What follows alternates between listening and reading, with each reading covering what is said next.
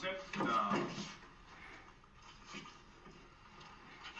I see the defendants have no legal representation. We don't need no lawyer, Judge. What is your full name? Tom Buchanan. What is your full name?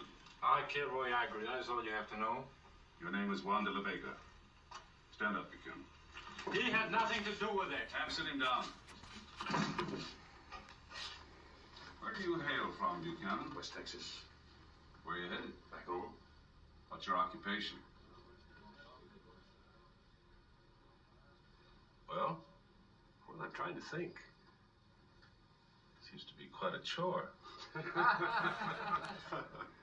I ain't much of a thinker, Judge. I grew up chasing cows. Whose cows? My dad's. Until the drop in the bank wiped us out. what then? I ramrodded some, a little border spread.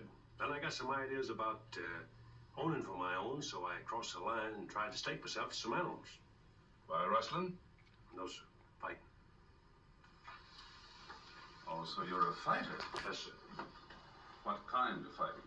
Most any kind, provided there's money in it. Join General Campos in Mexico. Then murder is nothing new to you, Buchanan. Ain't murder when you kill in a revolution. Why aren't you still there? Revolution petered out. Besides, I, I got myself a stake. I see. According to this charge, you're an accessory to the murder of Roy Agry. How do you plead? Your son getting shot was no business of mine. You got any questions, Lou? Yeah.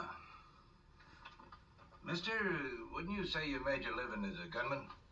I've turned a dollar with a gun.